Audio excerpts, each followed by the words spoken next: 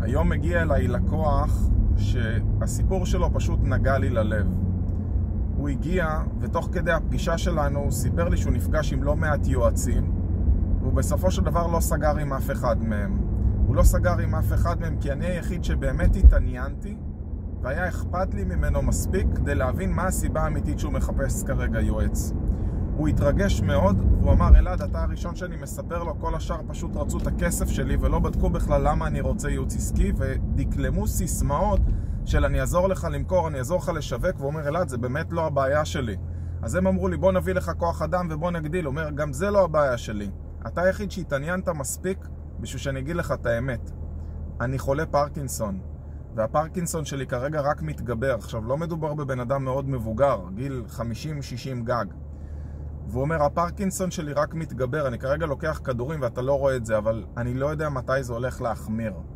ואני צריך עזרה בשביל לראות איך אפשר לקחת ממני את העסק, שזה עדיין ימשיך להיות העסק שלי, אבל שאני אעבוד עם הראש ואני לא אצטרך לעבוד בשטח. באותו רגע הבנתי שאני יכול לעזור לו, והחלטתי שאני לוקח עליו אחריות, והתחלנו ממש ללוות אותו בתהליך.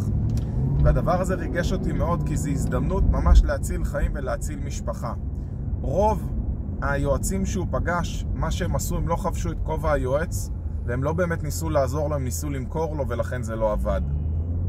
אז אני יכול להגיד לכם, שבפעם הבאה שאתם יושבים עם בן אדם, במקום לחשוב באיזה כיס נמצא הארנק שלו, תתעניינו מספיק בבן אדם ותראו מה יגרום לו לקחת את השירות שלכם, למה הוא באמת זקוק לו. יש הבדל מאוד גדול בין לנסות למכור, להבין למה הוא צריך את זה, אז ורק אז הבן אדם יהיה מוכן לשלם לכם מרצונו, בכלל לא תצטרכו להתאמץ למכור.